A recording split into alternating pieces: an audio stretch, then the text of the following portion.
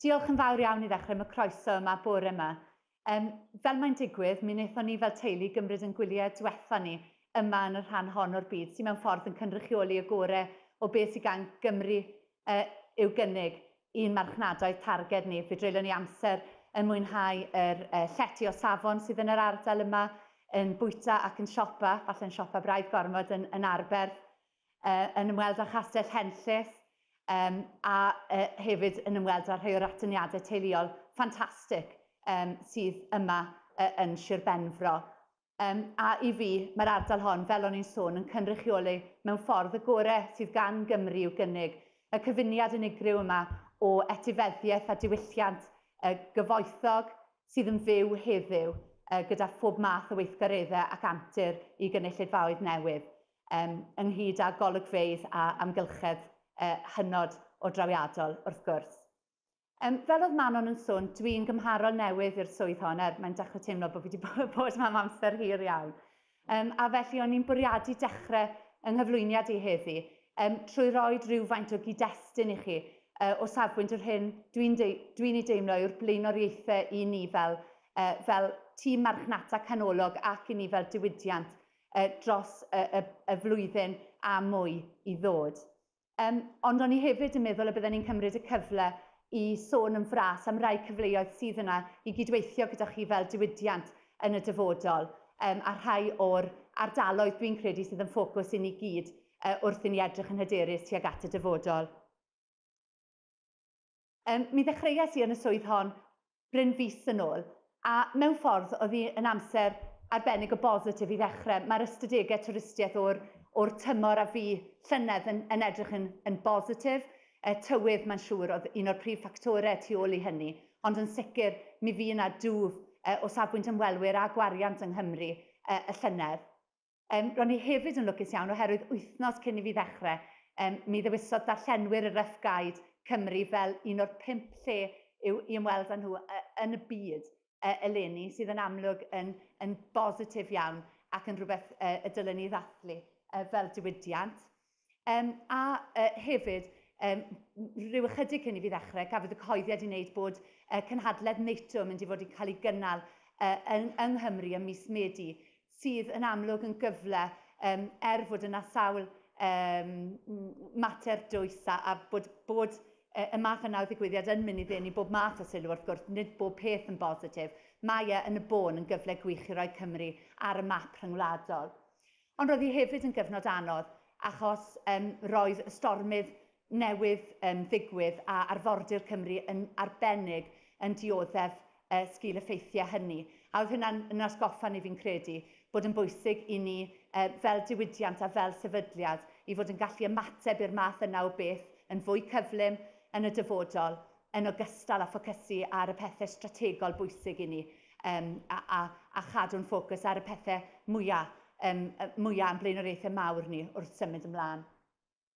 Um, felly, o safbwynt uh, Croeso Cymru, I'll switch to the English now. In terms of our priorities, um, in my view, uh, moving forward, um, as I said just now in Welsh, I started in what was both a really positive time in terms of what was coming through as the, the key tourism statistics for last year, the rough guys just selecting Wales as one of the key places to visit this year, etc but also Wales you know, coming out of a very difficult winter period.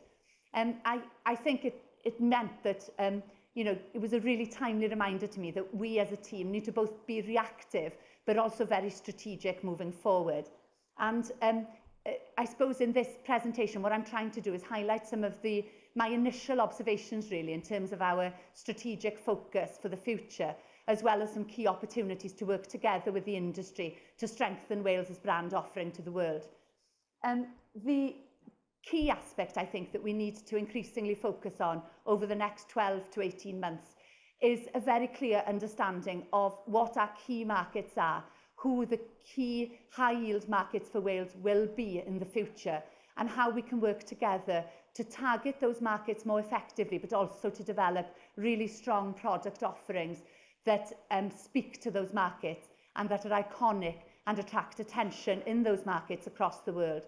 Our strategy sets out the need for us to be increasingly focused here in the UK and on the southeast uh, of England in particular in the future, to also look increasingly within Wales and towards Ireland, and to begin working more proactively in markets such as Germany and the USA, but without lo losing also out on markets in our traditional and um, strong uh, market destinations of France and places like the Netherlands. It's quite a tall order with limited resources. And as I said, I think increasingly we're going to have to pick our battles and decide where we can have um, the best wins possible for Wales as a brand and for the individual destinations and products that we have to offer within Wales. Um, developing a strong and confident narrative for Wales as a destination in itself, but also as a destination that's rich in other destinations, as smaller, more localised destinations and products, is going to be the big challenge, I think, for me moving forward. My role doesn't just focus on tourism, it also spans the other sectors.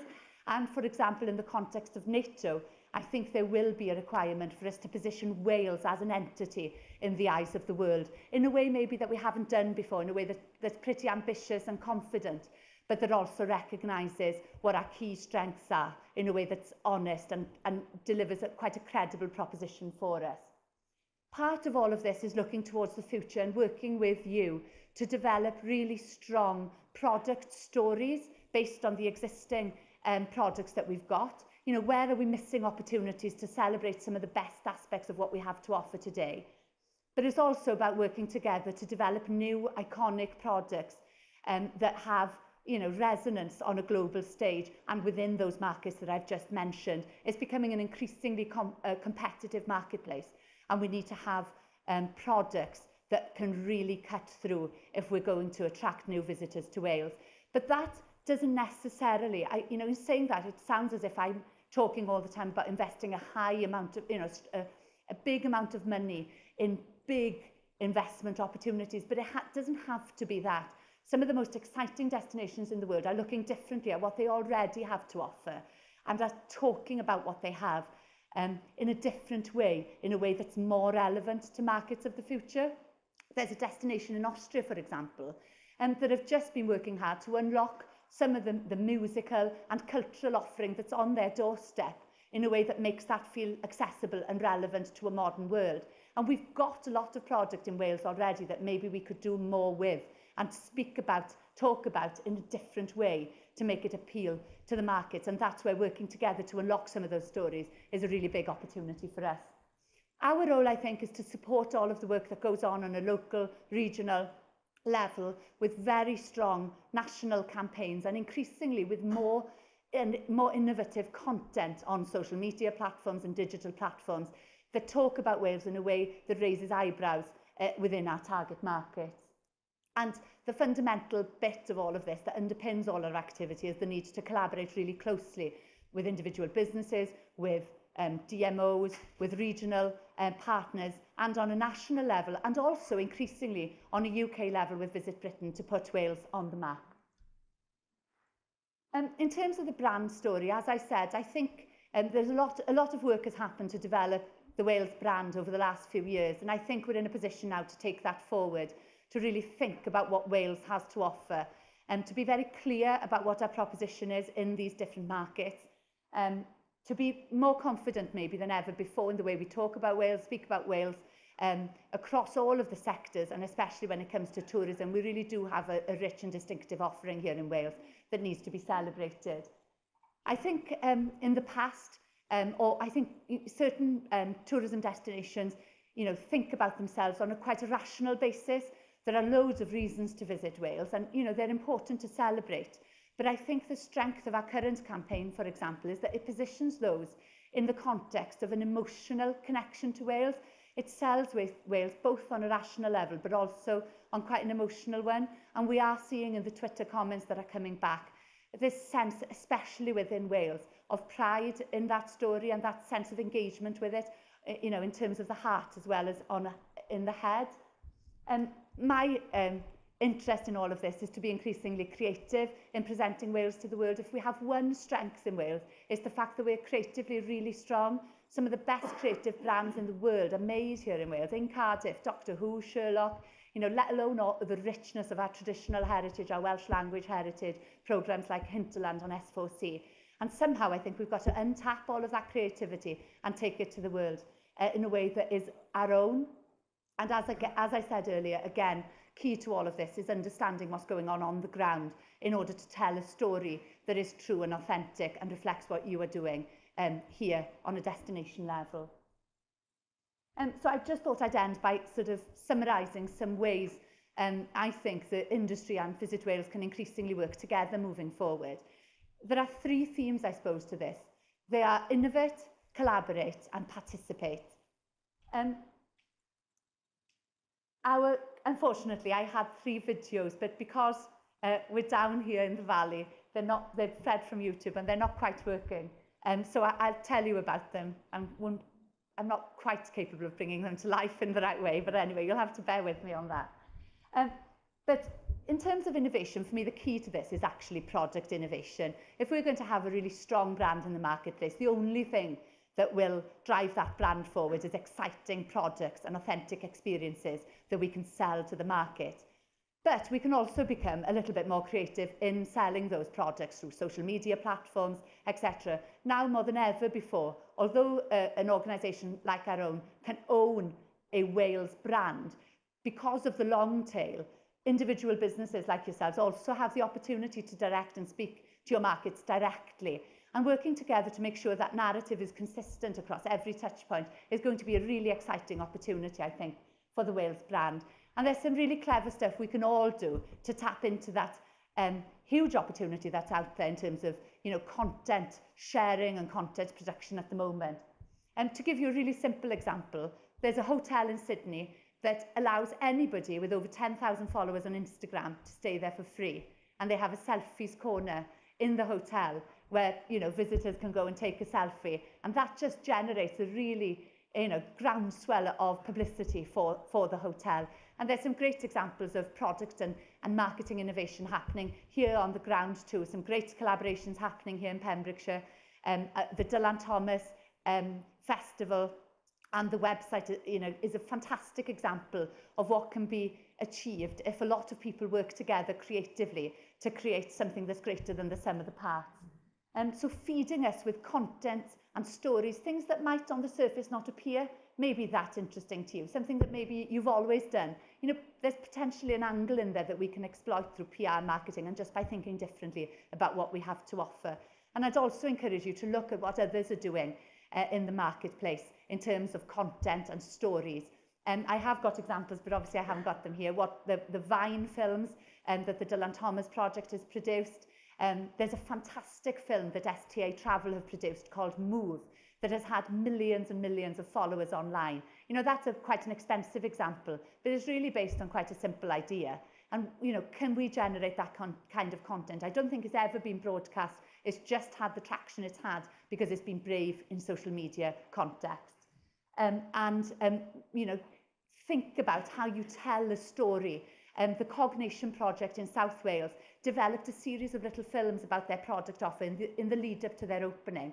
And over 40,000 people watched episode three of their film. You know, that's 40,000 people with an interest and probably, you know, very interested in actually attending the launch or at least going um, to that project within a few weeks of it opening. So there are ways now of being creative in order to develop a really strong narrative and getting real uh, customer engagement in what you have to offer. excuse this, this is the... Uh... In terms of collaboration, again, I think it's about thinking about how your products join up to create an even bigger story. I've mentioned the Dylan Thomas Festival several times, but it's a great example of where you know, events across Wales are now being talked about in the USA, in German markets and across the world because collectively they've, they've created a really strong product. Um, and there are great examples of that on a smaller scale, smaller scale in Ceredigion. There's a project called September, which is about a walking event happening every day in September. So all of a sudden, something that was happening anyway is turning into a really interesting story that we can pick up and run with uh, in, in the press. And, you know, we've always talked in the industry about packaging things effectively because collectively in markets like Ireland, Southwest England, you know, pe people may not come to your individual business, but if you start thinking about the broader product offer, then we do really have a strong uh, product to take to market to the market. And the other thing that's increasingly happening in the world on, on a general scale is creative allegiances. People thinking outside their own sectors to form partnerships. You know, we've traditionally worked within the tourism sector, but where are the opportunities to think differently about, for example, you know, musicians, artists, um, collaborators that are, you know, bring a very different edge to your business. Um, there's a, a small spa in the Cotswolds that have just invited one of the best hat designers in um, Britain to run workshops in the hotel in the lead up to the, the races. That's a really small idea, a small example of thinking differently about creating a product offer that will be talked about in the press and media across the world. Um, and participate. As an organisation, we clearly have offer opportunities for the industry to engage with us directly. And plus, there will be all sorts, obviously, and most of you will be aware of this, I'm sure, all sorts of opportunities to plug in on a more regional and local level too. Uh, on a national level, we can support you with travel trade activities. We've just been at the Best of Britain and Ireland, and we had a really strong presence there, which led, to some fantastic new leads for Wales, Wales-related products. Um, online and in social media terms, there are increasing opportunities um, to promote uh, Wales and individual destinations. Our Facebook um, page has over 400,000 um, likes, which is a significant number. A St Patrick's Day um, linked promotion that went up earlier this week had over 1,000 likes. And that was just a really small bit of activity. So it is being talked about, it does have an impact, and all of this collectively we can grow together. Um, campaigns, we'll talk a little bit about how you can take advantage of our campaigns, but also how you might be able to support us with campaign activity in the future. Stories, we've got PR agencies in countries around the world. We're always looking for great stories about Wales. Feed them into us so we can amplify your messages in the right market. And also, because we're part of the Welsh Government, of course, there are other ways that Welsh Government can support the growth of individual businesses um, by sort of all sorts of different um, uh, channels. Uh, the main thing is make sure that you know you're, you're quality graded, um, and I'm sure most of you in this room are, are part of, of that sort of offering that we have uh, as, as a, an organisation. Register on our database, our products database, so you can be found on our website. Take advantage of the resources that we have. We have a fantastic online photo resource that partners in the tourism industry can use free of charge. It has thousands of images of Wales on it, um, and that's available on walesonview.com. Um, if you want to take part in travel trade activities, let us know. Go to our traveltrade.visitwales.com website and register an interest there. And if you're interested in finding out more about government grants for businesses or government support for businesses, um, phone Business Wales on the number there. And there is also a new apprenticeship scheme for businesses. So if that's of interest, you know, do phone that number at the bottom um, uh, to find out more. And one of the main things really I think the industry doesn't take full advantage of is make sure that we that we're on that you're on our radar, that we know about what's going on in your area. So email any news or information that you've got to productnews at wales.gsi.gov.uk. Um, but we do need a little bit of advance notice so we can prepare and make sure that the message is fed into our appropriate PR platforms in the right way. Um, we also, you know, if you like our advert, support us um, retweet it using our hashtags um, and share our, our promotion on your website. Why not embed it on your homepage? And on the digital platforms now, we're increasingly seeing more and more interest in what we're doing in this space. Make sure that you like us on, on Facebook, follow us um, on Twitter, and share your content with us through our Share, Share Wales group on Flickr, um, and by sending any ideas that you have to visitwales.editorial at gmail.com. Um, we're always looking for new ideas in this space. We have to be ahead of the curve, so please let us know what you're up to. Um, mi na i orffen yn fyna. I, I won't say much in Welsh to end up, so no need to put your things in. Just to say diolch yn fawr iawn. Thank you very much for your time. Um, I'll be here all morning, so please come and speak to me after the presentations. As oes gyda chi unrhyw gwestiynau, dewch i siarad gyda fi. Um, diolch yn fawr iawn.